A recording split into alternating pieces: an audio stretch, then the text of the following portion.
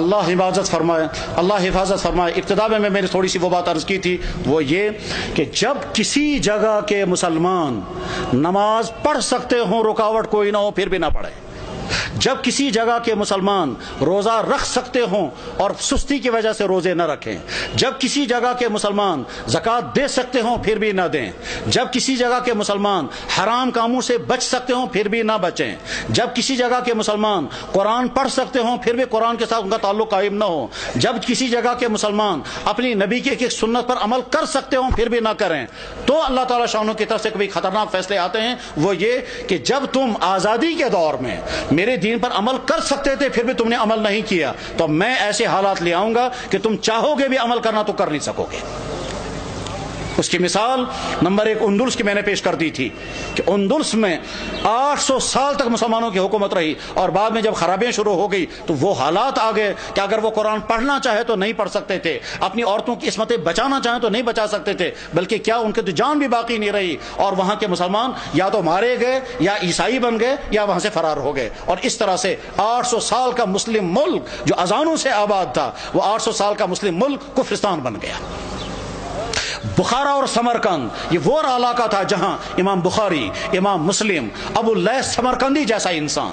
वो इलाका के जहाँ इमाम साहिब हिदाया अलामा बुरहानुद्दीन मरदी नानी रहमल्ला जिस इलाके में थे, कि जिस मस्जिद में बैठ करके उन्होंने हिदाया किताब लिखी और तेरह साल लगे किताब लिखते हुए, और तेरह साल मुसलसलों ने रोजा रखा। घर वालों से खाना आता था, वो खाना रख देते थे। जब घर वाले वापस चले जाते थे, ये खाना किसी गरीब को खिलाते थे। तेरह साल बैठ करके उन्होंने किताब, हिदायत नाम की किताब लिखी थी, जो जो हदीस और अकली उलूम का मजमु है। अलामा अनवर शाह साहब कहा करते थे, फरमाते थे, मैं हर किताब का जवाब लिख सकता हूँ, लेकिन चंद किताबों का जवाब मुझसे नहीं लिखा जा सकता है, उनमें से एक किताब हिदाया भी है। जिस मस्जिद में साहब हिदाया ने वो किताब लिखी थी, उस मस्जिद में शराब खाना चलता है।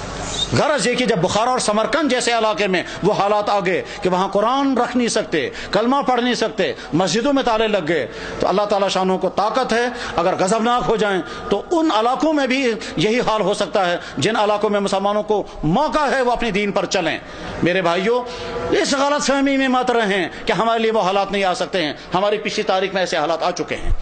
चाहे कश्मीर की पिछली तारीख में एक जमाना ऐसा आया था जब सिखों का दौर था मस्जिदों में ताले लगे थे और जो नमाज़ पढ़ना चाहता था उस नमाज़ नमाज़ पढ़ना उसको उसकी जिसम से खाल निकाली जाती थी सब लोगों के सामने ताकि बाकी लोग नमाज़ ना पढ़ें श्रीनगर की जामा मस्जिद में घोड़े बांधे गए थे तमाम मस्जिदें मिसमार कर दी गई थी। उस वक्त लोग नमाज़ पढ़ना नहीं पढ़ नहीं पढ़ सकते थे। ये अजानें बैन हो गई थी। जब किसी जगह के मुसलमान अपनी दीन की नाकदी करने लगते हैं तो ऐसे हालात आ सकते हैं। और उसकी मिसाल, इस बात की मिसाल नहीं कि मुसलमानों ने नाकदरी की। वो तो जुल्म है, लेकिन मिसाल हमारे सामने है।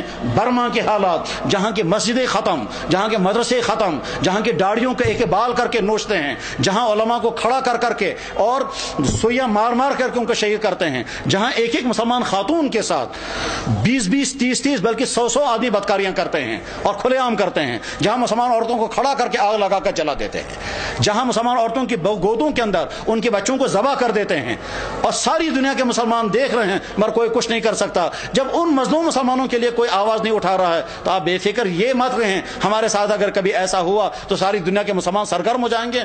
आज का मुसलमान बेहिस हो चुका है। आज के मुसलमान दुनिया के हुक्मरान, उनके ब्यूरोक्रेट, उनके तमाम हाई तबके, वो अपनी अयाशों में डूबे हुए हैं। किसी से कोई उम्मीद नहीं है। अपने दीन पर जमने का फैसला करके उठे अपने ईमान पर कायम रहने का फैसला करके उठे अपने दीन पर चलने का फैसला लेकर उठे अपने घरों के अंदर दीनदार घर बनाने का फैसला लेकर उठे अपने बिजनेसों को मुसलमान बिज़नेस बनाने का फैसला लेकर उठे अपने फंक्शनों को दीन का फ़ंक्शन बनाने का फैसला लेकर के उठे जब मुसलमान हराम से बच सकता हो और फिर भी न बचे वो शराबें पिए तो हालात ऐसे आ सकते हैं कि ज़बरदस्ती मुसलमानों को शराब पिलाई जाएगी। जब मुसलमान दाढ़ी रख सकता हो और न रखे तो बाद में ऐसे हालात आ सकते हैं कि रखना भी चाहें तो नहीं रख सकते। सारी तुर्की के अंदर मुसलमान दाढ़ी रख नहीं सकता। हालाँकि सारा मुसलमान मुल्क है। ऐसे हालात आ सकते हैं। इसलिए अपने दीन के साथ वफादारी का फैसला करो। वरना तो ऐसा हो सकता है कि अल्लाह जब तुम मेरे दीन के साथ वफादारी नहीं करोगे तो मैं तुम पर ऐसे हालात ला सकता हूँ कि तुम चाहोगे भी मेरे दीन पर अमल करना तो कर नहीं सकोगे। अल्लाह जल उस बुरे अंजाम से हम सब की हिफाजत फरमाए। हमारे नकाबरीन की हिफाजत हो, मदारिस की, मसाजिद की, दीन के दीनी इदारों की, दीन के काम करने वालों की और दीन पे जनने वालों की मदद फरमाए। व आखिर दावाना अनिलहमदिल्लाबीआलमीन बेरहमतिक या Amén.